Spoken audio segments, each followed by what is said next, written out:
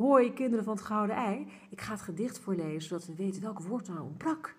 Ik wil wielen, ik wil wielen en een motor aan ons huis. Wielen aan de keuken, samen uit, samen thuis. En dan mag mijn mama rijden en dan mag mijn papa botsen, want dan zou het afwaswater uit zichzelf leren klotsen. Als ik dan een bord laat glijden uit mijn vingers, pats en pech, zeg ik, sorry voor de scherpe, scherp bochtje in de weg. Het woord was dus vingers. Wat wil nou het geval? Alle oplossingen die jullie gaven hadden een ander woord, namelijk handen. Wel allemaal hetzelfde, dus dat is heel erg grappig. Eigenlijk is er dus geen winnaar, want jullie hebben het verkeerde woord geraden, maar jullie hebben wel, omdat jullie allemaal hetzelfde woord hebben geraden, een soort, is het maar goed dat er een troostprijs is in deze. Die ga ik nu trekken.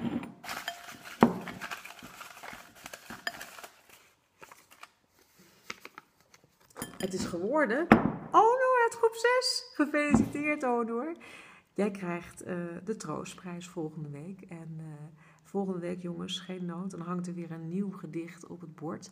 En is er weer een nieuw uh, ontbrekend woord. En dan is er weer een nieuwe winnaar. Ik zal kijken of jullie dan wel het goede woord raden. Dan is er geen troostprijs, maar een eerste prijs. Tot volgende week.